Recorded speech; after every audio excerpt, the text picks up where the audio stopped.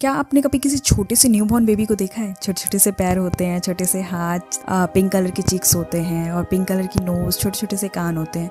लेकिन अगर यही अगर उस न्यूबॉर्न बेबी के अगर बॉडी पार्ट्स कम हो, जैसे कि हाथ ना हो, पैर ना हो, कान ना हो तो कितना अजीब लगेगा ना दिखने में? तो चलिए, आज हम ऐसी ही एक मूवी के बारे में बात करने वाले हैं, जिस मूवी का नाम है ड्रोनो और ये एक जैपनीज डार्क फैंटेसी फ़िल्म है, जो की दो हज़ार सात में आई थी। और ये एक कॉमिक बुक मांगा जो की नाइनटीन में आई थी, उस पर बेस्ड है। और इसकी आईएमडी की रेटिंग की बात करें तो 6.4 है। इस मूवी को आप नेटफ्लिक्स पर देख सकते हैं। तो चलिए शुरू करते हैं इस वीडियो को। और अगर आप इस चैनल पर नए हैं तो चैनल को सब्सक्राइब कर लीजिए बेल आइकन को ज़रूर दबा दीजिए। अगर आप पुराने हैं, पहले से आप हमारी वीडियोस को देख रहे हैं तो ज़्यादा ज़्यादा अपना प्यार दिखाइए शेयर कीजिए इस वीडियो को लाइक करिए कमेंट करिए। तो चलिए शुरू करते हैं। मूवी की शुरुआत में हम एक बार को देखते हैं जहाँ एक लड़की मास्क लगाकर डांस कर रही होती है। तभी हाकी मारू नाम का एक लड़का अचानक स्टेज पर आकर इस लड़की के मास्क को अपनी तलवार से काट कर लड़की के फेस से निकाल देता है, जहाँ हम देखते हैं कि वो लड़की कोई नॉर्मल लड़की नहीं, बल्कि एक डीमन स्पाइडर है। ये देख वहाँ मौजूद लोग शॉक हो जाते हैं और इधर उधर भागने लगते हैं।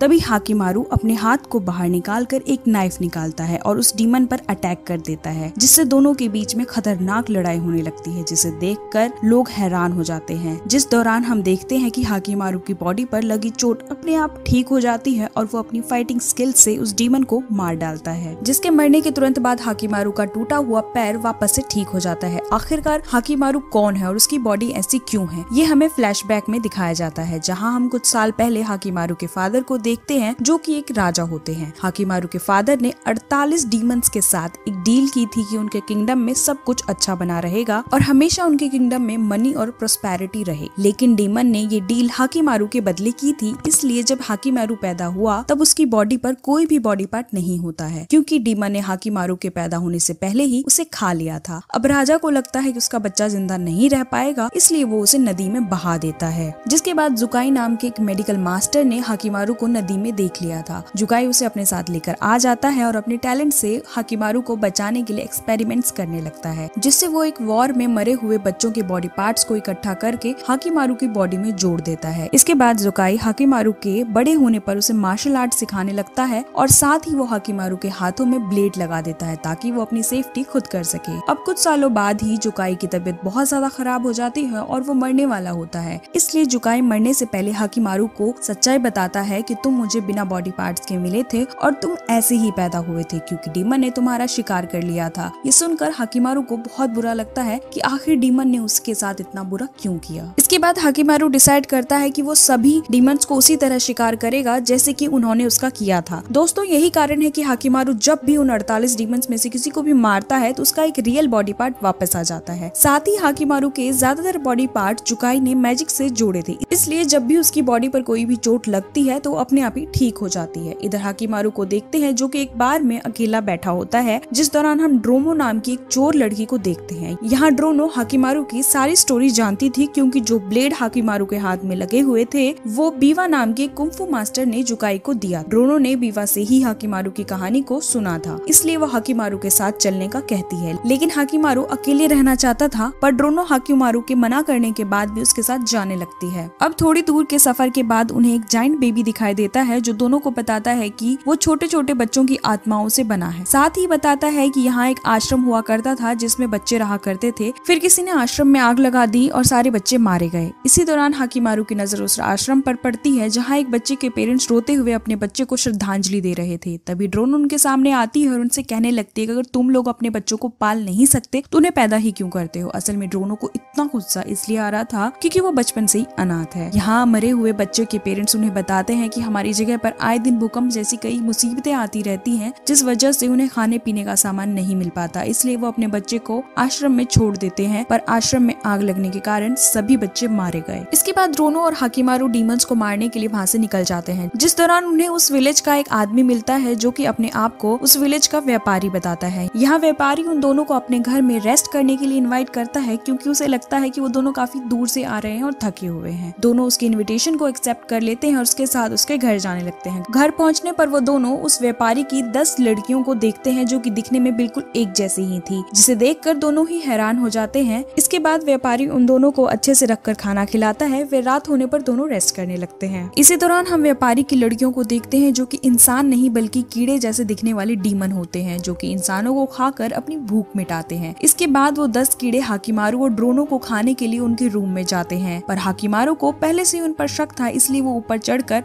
उनका वेट कर रहा होता है। और जैसे ही वो दसों लड़कियाँ वहाँ आती हैं उन पर अटैक करके उन्हें जान से मार देता है, तभी वहाँ वो जॉइंट बच्चा आ जाता है और उन दोनों को वहाँ से भागने के लिए डायरेक्शन बताता है। जहाँ जाकर वो एक रूम में बने ट्रैप डोर को देखते हैं, जिसे ओपन करने पर वो एक बेसमेंट में जाते हैं, जो की एक लंबी सुरंग की तरह दिखाई दे रहा था। जिसके बाद वो वहाँ से आगे बढ़ते हैं तो उसी आश्रम में जाकर निकलते हैं, जहाँ आग लगने से कई बच्चों की जान चली गई थी। ये देख वो समझ जाते हैं कि बच्चों की डेथ आग लगने से नहीं, बल्कि व्यापारी की दस बेटियों ने उन्हें खा लिया था। यहाँ हाकीमारू को पता चलता है कि उस व्यापारी की वाइफ एक विच है, जो कि बच्चों को खाती है, और उसी ने उन बच्चों को मारकर खाया होगा। इसलिए वो दोनों उस व्यापारी का राज खोलने के लिए सभी गाँव वालों को बुलाते हैं, लेकिन व्यापारी अब भी अपनी गलती को एक्सेप्ट नहीं करता है, और अपनी वाइफ को अभी भी बचाने की कोशिश करता है। इसलिए हाकीमारू उस व्यापारी के गले पर नाइफ रख कर उसे सच बोलने को कहता है, जिस पर व्यापारी की वाइफ हाकीमारू को मारने के लिए आगे बढ़ती है। लेकिन गलती से वो अपने ही हस्बैंड को मार डालती है और अपनी असली रूप में आकर हाकीमारू से बचकर उड़ने लगती है। पर तभी जाइंट बच्चा उस विच को पकड़ लेता है और नीचे की ओर खींचने लगता है। तभी हाकीमारू अपनी तलवार से उस विच पर अटैक कर देता है और उसे जान से मार डालता है, जिसके मरने के बाद उस विच के द्वारा खाए हुए सभी बच्चों की आत्मा बाहर आ जाती है और सभी उस विच से फ्री हो जाते हैं। अब क्योंकि हाकीमारू ने उस डीमन विच को मार दिया था, इसलिए उसका एक बॉडी पार्ट वापस आ जाता है। पर सभी गाँव वाले हाकीमारू को ही डीमन समझने लगते हैं, उसे डरते हुए उसे उस गाँव से भगा देते हैं। इसके बाद वो दोनों अगले डीमन की तलाश के लिए निकल जाते हैं। ऐसे ही साथ में रहते रहते उन दोनों में काफ़ी अच्छी फ्रेंडशिप हो जाती है। रास्ते में आगे बढ़ते वक्त उनके सामने एक डीमन आता है, जिसका फेस तो इंसान की तरह होता है, पर बॉडी पेड़ जैसी बनी हुई होती है। डीमन हाकी मारू और ड्रोनों को मारने के लिए अपने मुँह को खोलकर कई सारी पत्तियों को बाहर निकालता है, जो कि उन दोनों पर अटैक करने लगता है। इसके बाद हाकी मारू उस डीमन के ऊपर अटैक करता है और दोनों के बीच में फाइट होने लगती है। हाकी मारू किसी तरह उस डीमन पर अटैक करके उसके दो टुकड़ों में काट देता है जिससे कि वो मारा जाता है, जिसके मरने के बाद हाकी मारू के कान वापस आ जाते हैं। अब आगे जाने पर उन्हें फिर से एक डीमन दिखाई देता है जो की हाकी मारू पर अटैक कर देता है। पर ड्रोनो उस डीमन पर चढ़ जाती है और उसका गला काट कर उसे मार डालती है, जिसके मरने के बाद हाकी मारू का गला वापस आ जाता है। अब थोड़े आगे जाने पर ही उन्हें एक और डीमन मिलता है, जिसे हाकी मारू बड़ी आसानी से मार डालता है, जिससे कि उसका हाथ वापस आ जाता है। जिसके बाद वो दोनों एक बॉर्डर पर पहुँच जाते हैं, जहाँ ड्रोनो हाकी मारू को अपनी स्टोरी बताती है कि जब मैं छोटी थी, तब मेरे गाँव पर एक राजा के सिपाहियों ने अटैक कर दिया, जिस दौरान मेरे फादर की डेथ हो गई और फिर मेरी मदर भी मारी गई। इसलिए मैं उस राजा को मार कर उससे अपने पेरेंट्स की मौत का बदला लेना चाहती हूँ। इसके बाद वो दोनों उसी राजा के राज्य में जाते हैं, जहाँ हाकिमारू एक बार में जाता है। उसी वक्त वहाँ कुछ चोर आ जाते हैं, जिनसे डर कर सभी लोग भाग जाते हैं, पर हाकिमारू अपनी जगह से हिलता भी नहीं है। इसलिए वो चोर उसे मारने के लिए आगे बढ़ते हैं, पर वो नहीं जानते थे कि हाकिमारू को मार्शल आर्ट्स आते हैं। अब जैसे ही वो लोग हाकिमारू पर अटैक करते हैं तो हाकिमारू उन पर अटैक कर कर अपनी फाइटिंग स्किल्स से उन्हें मार देता है। इसके बाद वहाँ उस राज्य का राजकुमार आ जाता है, जो कि हाकिमारू को सेनापति बनाने के लिए अपने साथ महल ले जाने लगता है। हाकिमारू भी उसे मना नहीं करता है और वो साथ में उसके जाने लगता है। यहाँ महल में हाकिमारू से राजकुमार की मदर मिलती है, जो कि हाकिमारू का हाथ पकड़कर उसे पहचान लेती है। असल में हाकिमारू उन्हीं का बड़ा लड़का था जिन्हें उन्होंने नदी में बहा दिया था। यानी कि ये राज्य किसी और का नहीं, बल्कि हाकिमारू के फादर का ही था। और हाकिमारू का फादर ही वो राजा था, जिसके सिपाहियों ने ड्रोनों के पेरेंट्स को मारा था। इसके अलावा हाकिमारू भी अपनी मदर को टच करता है, जिसके बाद उसे सब कुछ याद आ जाता है कि वो रानी ही उसकी असली मदर है। ये जानने के बाद हाकिमारू को याद आता है कि किस तरह उसकी मदर ने उसे नदी में मरने के लिए छोड़ दिया था। इसके बाद वो दुखी हो जाता है और वहाँ से चुपचाप चला जाता है और ड्रोनो के पास आकर अपनी सारी सच्चाई बताता है कि मैं उसी राजा का बेटा हूँ, जो तुम्हारे पेरेंट्स की मौत का जिम्मेदार है जिससे ड्रोनो को बहुत ज़्यादा गुस्सा आ जाता है और वो हाकिमारू को मारने लगती है। पर हाकिमारू के चोट अपने आप ही ठीक होने लगते हैं। यहाँ ड्रोनो हाकिमारू से इतना ज़्यादा गुस्सा हो जाती है कि उसका साथ छोड़ देती है और दोनों अलग अलग हो जाते हैं। पर कुछ ही देर बाद हम देखते हैं कि ड्रोनो हाकिमारू के पास वापस आ जाती है और पुरानी यादों को बुलाकर फिर से न्यू लाइफ स्टार्ट करने का कहती है। ये सुनकर हाकिमारू भी उसकी बात मान जाता है। इधर हाकिमारू की मदर अपने बड़े बेटे से मिलने के लिए कहती है, लेकिन हाकिमारू का छोटा भाई अपनी मदर को मिलने से मना कर देता है। क्योंकि उसे ऐसा लग रहा था कि हाकिमारू के इस राज्य में आने पर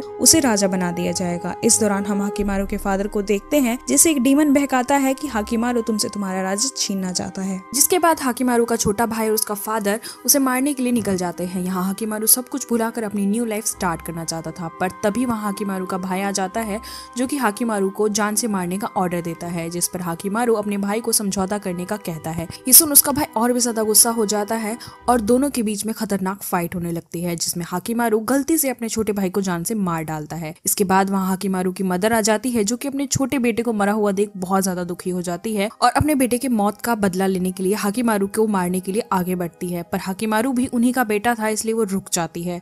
जिस दौरान वहाँ राजा भी आ जाता है, जो की हाकीमारू यानी अपने बड़े बेटे को मारने के लिए उसकी ओर जाने लगता है। जिस पर रानी उसे हाकीमारू को मारने से रोकती है, ये देख राजा अपनी वाइफ को जान से मार डालता है और हाकीमारू पर अटैक करने के लिए उसकी ओर बढ़ता है। हाकीमारू की मदर ने उसके लिए जान दे दी थी जिसकी वजह से हाकीमारू को बहुत ज़्यादा दुख होता है, इसलिए वो अपने फादर से लड़ने लगता है, जहाँ हाकीमारू अपने फादर को गुस्से में अटैक करने लगता है। अब क्योंकि हाकीमारू एक बहुत अच्छा फाइटर है, इसलिए उसके फादर भी उसके सामने टिक नहीं पाते हैं। इसी बीच वहाँ डेविल आता है, जहाँ राजा उस डेविल के सामने अपने आप को सौंप कर अपने छोटे बेटे को फिर से ज़िंदा करने की डील करता है। पर वो डेविल राजा की बॉडी के अंदर घुस जाता है और हम देखते हैं कि राजा अब डेविल में बदल गया है। इसके बाद राजा बहुत ज़्यादा शौक हो जाता है, क्योंकि अब वो एक डीमन बन चुका था। यह राजा को समझ आ जाता है कि उसने कई सारे बुरे काम किए हैं जिसकी उसे सजा मिल रही है। अब राजा उस डेविल को खत्म करने के लिए अपनी तलवार को अपने पेट में घुसा देता है, क्योंकि वो जानता था कि वो डेविल उसके मरने के बाद ही वहाँ से जाएगा। राजा हाकीमारू से उसे मारने को बोलता है, क्योंकि राजा के मरने पर ही डेविल की मौत होगी। इसलिए हाकीमारू उस डेविल पर अटैक करता है और उसे जान से मार डालता है, जिससे कि उसके फादर की भी डेथ हो जाती है। इसके बाद हम हाकीमारू के छोटे भाई को देखते हैं, जो कि ज़िंदा हो चुका है और उसे अपने किए वे पर बहुत ज़्यादा गिल्ट होता है। इसलिए वो हाकीमारू को अपने बड़े भाई के रूप में एक्सेप्ट कर लेता है और उसे इस राज्य का राजा बनने को कहता है, जिस पर हाकीमारू मना कर देता है। असल में हाकीमारू को राजा नहीं बनना था, क्योंकि उसका मकसद सिर्फ़ दुनिया से डीमंस और डेविल्स को मारना था, ताकि पूरी दुनिया डीमंस के डर के बिना अच्छे से जिए। इसके बाद हाकीमारू ड्रोनो के साथ वहाँ से चला जाता है और इसी के साथ ये मूवी यही एंड हो जाती है।